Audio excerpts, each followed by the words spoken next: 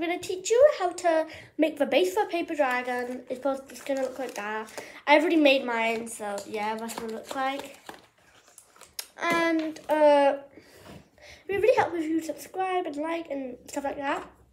But hopefully this tutorial makes it easier for people who want to try and make paper dragon. You're going to need to fold one sheet of paper in a into a strip.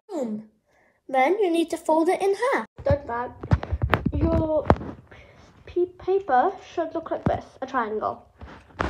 Then repeat the step with your other sheet of paper. The bigger one will be used for the head and the lower one will be used for the mouth. Now we need to trace how big we, we want it to cover. Yeah. And then we need to stick it on. Something like this. A bit bigger than the actual paper dragon. Now repeat the step with the other half.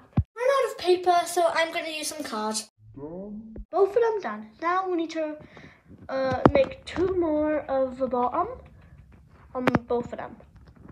So I'm so all I gotta do is repeat that step, and I'm to skip to the part where I've already done both of them together like a sandwich.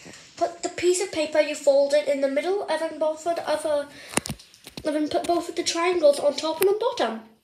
Then glue or stick them together. Completed both of them. You need to tape them both together like this. Shorter one on top and then tape both of them together from these two parts.